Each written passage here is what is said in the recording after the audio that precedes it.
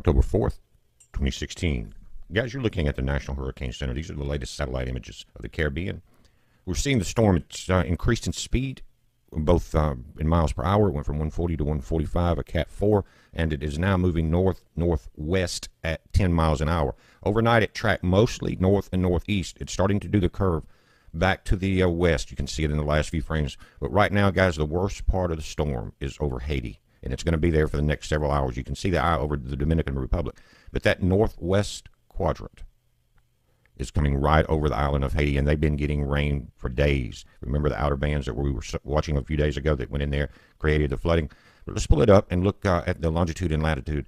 And you can see as the eye is coming over the islands now, that uh, northwest section or the top right, right in there, coming over Haiti is going to be incredible. You've got uh, 145 mile per hour sustained winds, but gusts reaching up over 170 to 180 in some cases. Now, quickly, Nicole has become a tropical storm. The uh, different models, we'll look at that quickly. Some show it recurving, one show it uh, shows it diving down. It could uh, mingle in with Matthew up the northeast coast later in the week. We'll take a look at that. And notice 10 miles an hour on Matthew now, move, movement forward at 145 as far as sustained winds.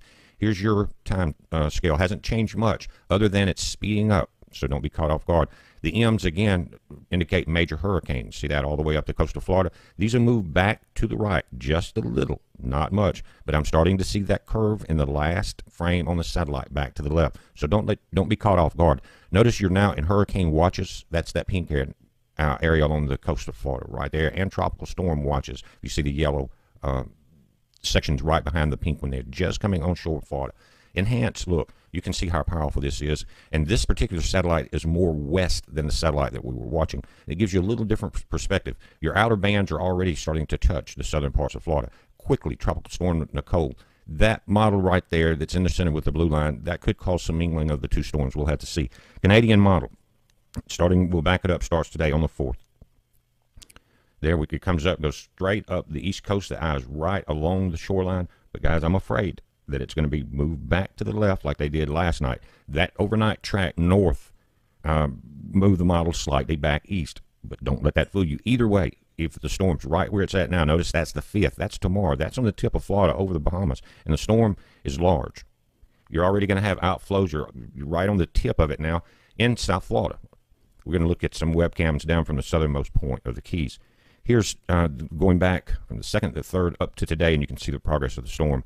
Again, Haiti's been getting the battered right front quadrant of this storm for a few days, starting right there on the 3rd. They were predicted to get over 40 inches of rain, and um, that may be, uh, we may break that because now the, with the curve that it's done, this thing is, uh, those folks there, guys, it's going to be a miracle that um, if a lot of people are not killed or hurt because some people were missing yesterday, some fishermen and things like that just that Clinton Foundation just never got there, guys, and that's kind of how it will be after this election. They're just going to a lot of promises, and, but nothing's going to happen except the country's going to be decimated, like the storm is decimating uh, Haiti. So, regardless of this, keep up with uh, what's going on with our election because once we get through the storm, there's a much more powerful storm coming in. It's going to be a worldwide one, and it's called the New World Order.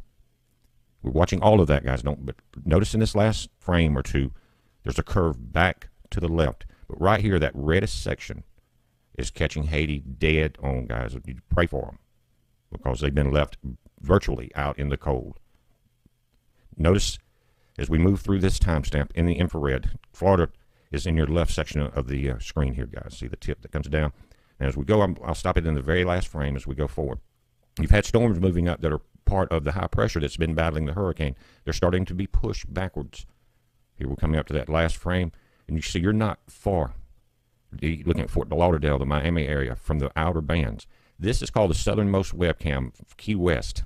Check that out. People come there in that big red buoy, take pictures there all day long. You can see the water movement from the left to the right. That's where the storm is. It doesn't look bad there now, but you can tell the water is slightly agitated. It doesn't have that calm look.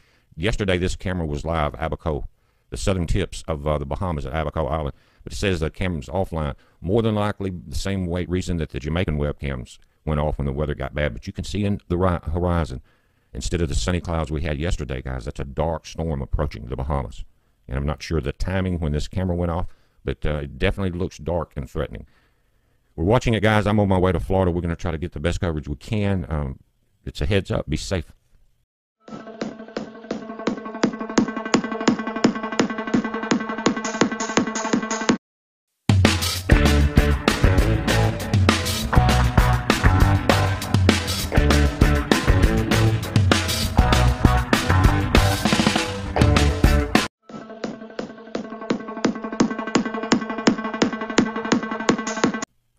4th, 2016. Guys, you're looking at the National Hurricane Center. These are the latest satellite images of the Caribbean. We're seeing the storm. It's uh, increased in speed, both uh, in miles per hour. It went from 140 to 145, a Cat 4, and it is now moving north northwest at 10 miles an hour. Overnight, it tracked mostly north and northeast. It's starting to do the curve back to the uh, west. You can see it in the last few frames. But right now, guys, the worst part of the storm is over Haiti, and it's going to be there for the next several hours. You can see the eye over the Dominican Republic. But that northwest quadrant is coming right over the island of Haiti, and they've been getting rain for days. Remember the outer bands that we were watching a few. October 4th, 2016. Guys, you're looking at the National Hurricane Center. These are the latest satellite images of the Caribbean. We're seeing the storm. It's uh, increased in speed, both uh, in miles per hour. It went from 140 to 145, a Cat 4, and it is now moving north northwest at 10 miles an hour. Overnight, it tracked mostly north and northeast. It's starting to do the curve back to the uh, west. You can see it in the last few frames. But right now, guys, the worst part of the storm is over Haiti, and it's going to be there for the next several hours. You can see the eye over the Dominican Republic. But that northwest quadrant is coming right over the island of Haiti, and they've been getting rain for days. Remember the outer bands that we were watching a few days ago that went in there, created the flooding? But let's pull it up and look uh, at the longitude and latitude. And you can see as the eye is coming over the islands now, that uh, north